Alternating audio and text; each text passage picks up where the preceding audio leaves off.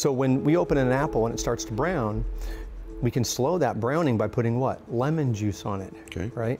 Think of light as lemon juice for the cells. Mm -hmm. It's going to slow down the oxidative stress, which is, a, again, an overwhelming amount of those mitochondrial nitric oxide, right? And it's going to stop inflammation.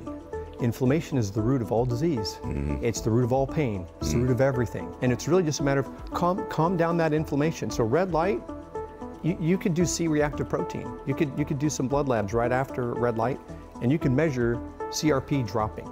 You can look at red blood cells, dark field microscopy, and you can see the, the cells changing right before your eyes, especially after PMF. Do dark field right before PMF and do dark field after, and Yeah. tell me that that doesn't look like somebody else's blood.